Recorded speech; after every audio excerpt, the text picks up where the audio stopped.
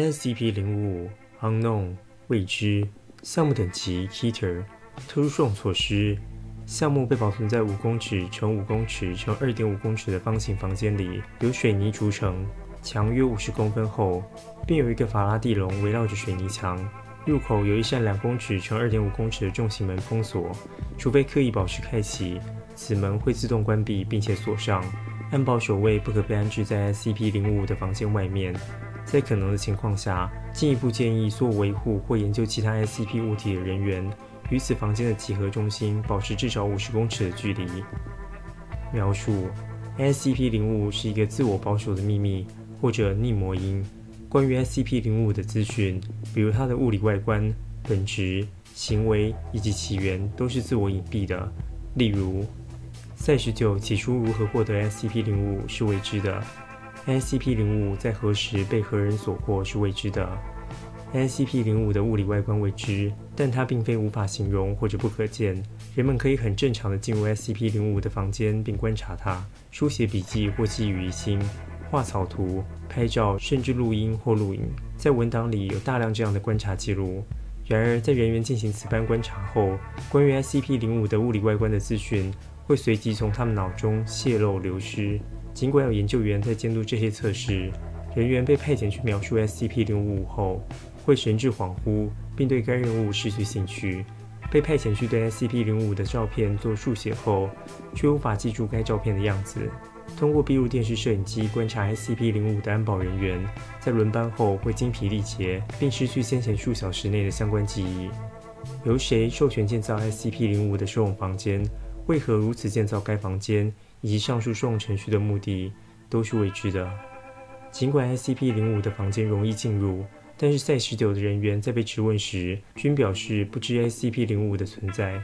所有这些情况通常会偶然被该文档的阅读者周期性的重新发现，造成严重惊慌。这种忧虑状况在被遗忘前至多持续数分钟。大量关于 SCP-05 的科学资料已被记录，但无法研究。已经进行过不止一次的尝试去摧毁 SCP-05，或者把它从赛事九移动到另外一个站点，但是不知何故全部失败。SCP-05 可能有严重的物理威胁，甚至可能已经杀死了数百名人员，而且我们还无从得知。显然，它具有巨大的魔音精神威胁，因此将其分级为 Keter。文件055之一，一份对 SCP-05 的分析。文件作者认为 SCP-05 从来没被正式所获。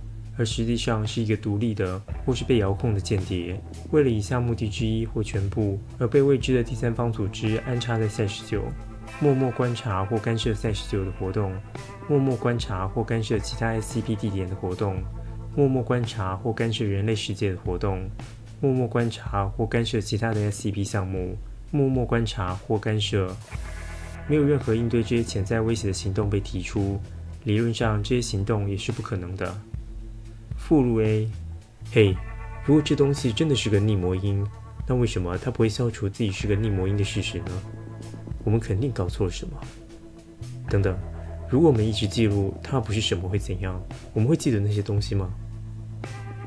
文件零五五之二，John Maricher 博士的报告。编号一九零五一二七 BX 一调查组曾经成功进入 SCP 零五的房间，去查明 SCP 零五的外观以及它某种程度上的本质，以根据专案方法论见做下记录。随后，房间再次被密封。摘录自一份人员任务报告的副本。好的，现在我将问你一些关于五十五号的问题。呃，多少号？SCP 项目五十五，你刚才才调查过的。呃，我不知道你说的是什么。我不认为我们有个五十五。好吧，那么我想问问你，刚才两个小时都做了些什么？啊？我我我不知道。好吧，那么你还记得我们都同意它不是球形的吗？什么不是？哦，对，它一点都不圆。项目五十五不是圆的。所以你现在记起来吗？好吧，没有。我是说，我不知道它是什么。但是我知道那里有一个东西，是某个你无法记得的东西，而且它不是一个球体。等等，什么不是球体？项目五十五，项目什么？博士，你记得你同意过有什么东西不是圆的吗？哦，是的。这显示出可以记得 SCP-05 不是什么事实的否定，并且可能可以从这些记忆中反复推断出它的存在。编号一九零五五一二七 BX 一调查的相关人员报告了中等程度的定向障碍和心理创伤，都与反复记起和忘却 SCP-05 有关。然而，并没有观察到长期的行为问题或健康问题。而且，对调查人员的心理评估显示，这种精神痛苦会随时间推移而慢慢消失。建议在每个重要站点都应配备至少一名能记住 SCP-05 存在的人员。以上就是 SCP-05。简单的说，SCP-055 是一个未知的物体，具有逆魔音的特性。所有记忆中关于 SCP-05 的资讯都会在短时间内被遗忘，即使派人去调查，这些人也会很快失去兴趣。关于逆魔音到底是什么，我在 SCP-30C 有介绍过。我一直都蛮喜欢逆魔音这个概念，而逆魔音部的故事系列之一，这里面有逆魔音部，也是我觉得很棒的一个故事，推荐大家去看看。之后有机会可能会做吧。最后，久违的聊一下大特户。其实，在大特户中也有具有逆魔音特性的怪物，叫 Silence。